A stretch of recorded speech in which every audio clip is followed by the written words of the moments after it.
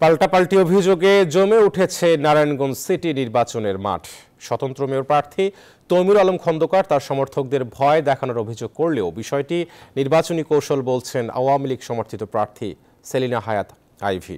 একই সাথে তার মন্তব্য, তিনি শুধু আস্থা করেন জনগণ, দল ও প্রধানমন্ত্রীর উপর। এদিকে নির্বাচন ঘিরে চোদ্দ থেকে আঠারোই জানুয়ারি সব ধরনের বৈধ অস্ত্র জমা দেওয়ার নির্দেশ দিয়েছে নারায়ণগঞ্জ জেলা প্রশাসন। দিলীপ কুমার মণ্ডলকে সাথে নিয়ে আরফিন শাকিলের রিপোর্ট।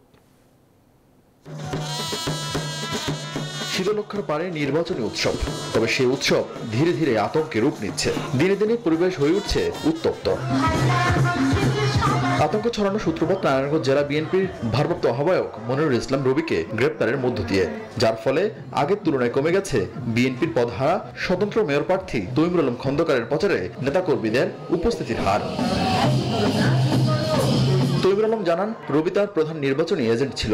এছাড়া তার বাকি অনুসারীদের পুলিশ বাড়ি বাড়ি গিয়ে এলাকা ছাড়ার নির্দেশ দিচ্ছে। প্রতি রাত্রেই পুলিশের একটা মহড়া হুন্ডা সাদা পোশাকের পুলিশ পোশাকি পুলিশ তারা প্রতি রাত্রে মহড়া দিয়ে আমাদের নাট্য কর্মীদের বাড়িতে যায়। এসপি সাহেবের দৃষ্টি আকর্ষণ করে বলতে চাই আপনি যদি এই বিষয়টা জনস্বার্থে না দেখেন তবে আপনার অফিসের সামনে বসে পড়া ছাড়া আমার অন্য কোনো অল্টারনেটিভ থাকবে না।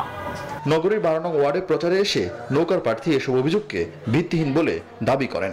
উনি আমার মতো আমার চেয়ে বেশি দাপটের সহিত উনি নির্বাচন প্রচারণা চালাচ্ছেন যা আমি দেখছি। আপনাদের মিডিয়ার মাধ্যমে দেখছি। তাহলে কেন উনি অভিযোগ করছে? এটা ওনার নতুন কোনো চাল কিনা তা আমি জানি না। হতে পারে ওনার কোনো কৌশল অথবা ওনার কোনো চাল।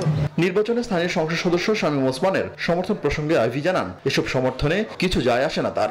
আমার আস্থা সবসময় ছিল আমার নেত্রী জননেত্রী শেখ হাসিনার উপরে। আমার আস্থা আছে আমার দল আওয়ামী লীগের প্রতি। আমার আস্থা হলো আমার জনগণ। এদিকে নির্বাচন বানচাল নয় বরং সুষ্ঠু নির্বাচনের জন্য মামলার আসামিদের গ্রেপ্তার করা হচ্ছে বলে জানিয়েছেন নারায়ণগঞ্জ পুলিশ সুপার জাহিদুল আলম। আশা করি আগামী ষোলো তারিখ পর্যন্ত এই ধারা অব্যাহত থাকবে। আমাদের যে অভিযান চলছে সেটা অব্যাহত থাকবে এবং দিনকে দিন সেটা তীব্র থেকে তীব্রতর হবে। Arifin Shakil news twenty Narayanganj.